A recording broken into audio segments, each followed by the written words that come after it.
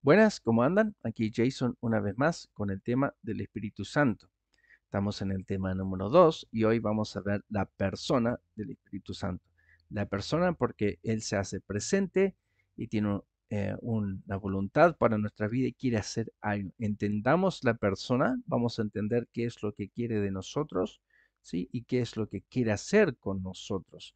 Y también vamos a honrar a Dios Trino completamente y vamos a poder tener la, obra de Él completa en nuestras vidas. En el tema número uno hablamos de que eso a veces trae confusión. Cuando alguien dice Espíritu Santo, no se están refiriendo al Espíritu Santo bíblico. A veces lo confunden con cosas materiales. Confunden que están bien con Dios porque un espíritu le ha dicho algo, el espíritu le ha dicho algo sobre cosas materiales ¿sí? o emocionales y entonces con eso piensan que están bien con Dios. Pero Dios, como vimos en el video número uno, se hace presente en la unidad, en amor, en paz. Y el Espíritu Santo es el consolador que se hace, la gloria del Espíritu Santo se hace presente cuando estamos en problemas, no en las cosas materiales. Pueden volver a ver en video número uno que terminamos diciendo, no le llevamos cosas extrañas a Dios. Ahora vamos a ver lo que es la persona del Espíritu Santo y no confundamos con la personificación de algo, de alguien más, ¿sí? que es el efecto de otra cosa. No, es una persona. Y vamos a poner estos rápidos, ¿sí? porque esto es un repaso nomás de lo que hemos visto en la iglesia. ¿De dónde viene entonces el Espíritu Santo? Si no es un reflejo simplemente de Dios, en Génesis vemos que estuvo en esa palabra Elohim en el primer versículo, es un Dios plural, vemos que Él se mueve sobre las aguas, vemos que cuando van a crear al hombre dice hagámoslo en nuestra imagen, y también vemos que está hasta el tiempo de Apocalipsis. ¿Por qué? Porque el Espíritu Santo es parte de la eternidad, es eterno. ¿De dónde viene? Dios. Tenemos acá en el costado, dice, Dios envió a vuestros corazones el espíritu de quién? De su Hijo. ¿Por qué? Porque Él manda al Espíritu Santo con un propósito de hacernos parecer a quién? A su Hijo. ¿A ricos? No. ¿A personas que se concentran en cosas materiales? No. ¿Que buscan fama? No. A su Hijo. Romano dice, vuestros, no viváis según la carne. Las cosas que le decía de recién, no lo hagas sino según el Espíritu. Y si el Espíritu de quién? De Dios, y fíjense en esto, muy conectado a la eternidad, mora en vosotros, ¿a dónde va a morar? Fíjense cómo está conectado, está conectado con el corazón. ¿sí? Si alguno no tiene el Espíritu de quién? De Cristo. La obra de Cristo en su vida, la cruz, no es de él. Esto es sumamente importante para la salvación. Usted no entiende el Espíritu Santo, o no entiende a Cristo, no entiende a Dios, usted no es salvo. Esta es la obra completa. También hemos leído que Jesús envía al Espíritu. A quien le pide, enviará del Padre. ¿sí? Después también vimos en Juan 16.7 que Él pide que Él venga. Ahora muchos hablan de esto de, de confusión. Déjenme traer estos otros versículos porque dice, oh, qué confundido. No, es siempre estuvo, Dios lo envía, Jesús lo envía con el propósito de morar en nosotros, pero en Apocalipsis dice que hay siete espíritus, no, no, básicamente sin entender todo el libro, el número siete en la numerología de la Biblia desde Génesis, desde acá hasta acá, ha sido la perfección. ¿Sí? No ha cambiado nunca. Y cuando decimos que siete y 7 se refiere al espíritu, estamos hablando que él es un espíritu puro como Dios, santo como Dios, ¿sí? Perfecto, no le falta nada en ese sentido. Fíjense en estos pasajes que dice un espíritu. Y acá tenemos en amarillo uno y el mismo espíritu. Acá tenemos, ¿sí? Un espíritu, un mismo espíritu. El espíritu es uno. Ahora, Dios Padre hace un montón de cosas, pero sigue siendo Dios Padre. Jesús hizo un montón de cosas, enseñó, hizo milagros murió en la cruz, resucitó. el Espíritu Santo hace muchas cosas, pero es una. Ahí tenemos de dónde viene, ¿sí? Y ya empezamos a ver que tiene este propósito que está vinculado con la vida espiritual en nuestros corazones, no en las cosas materiales. ¿sí? En nuestros corazones, dice, de ahí demana la vida, dice la palabra de Dios, en emociones. Y el Espíritu Santo tiene emociones, y estos versículos tal vez no son los más indicados, pero vamos a ver sobre Gálatas, vamos a ver cómo se puede ofender el Espíritu Santo. Entonces vamos a usar estos para no ser tan repetitivos, que va a figurar esta palabra, que es la palabra en griego de amor. Ahora, como ejemplo tenemos Romanos 8:26 acá en el costado. Y hablamos en la iglesia de las emociones. ¿Cómo sé que se hizo presente el Espíritu Santo? En una emoción. ¿Sabes cómo vas a saber? Si vos vas a la iglesia y viste una foto de alguien, dijo, oh sí, yo quiero ayudar a ese campo misionero y te emocionaste y dije, el Espíritu Santo me movió. Y para el lunes, martes, a un año, no hiciste nada sobre eso, fue pura emoción. Ahora, si vos fuiste y viste algo que te movió y el Espíritu Santo, y vos le diste lugar al Espíritu Santo, vas a hacer algo.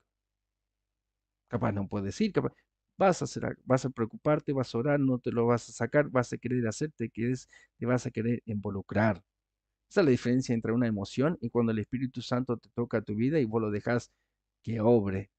¿Sí? No confundemos emociones de yo sentí el Espíritu Santo cuando canté porque me, me movió el cuerpo. Encienda la radio y va a encontrar mucha radio, música que mueva el cuerpo. Acuérdense, es interior, no exterior. Y el Espíritu Santo entiende esto. ¿Por qué entiende esto? Porque dice, igual manera nos ayuda en nuestras debilidades. Ah, no, pero el Espíritu Santo es todo lo bueno. En nuestras debilidades se hace más presente, como vimos en el video 1.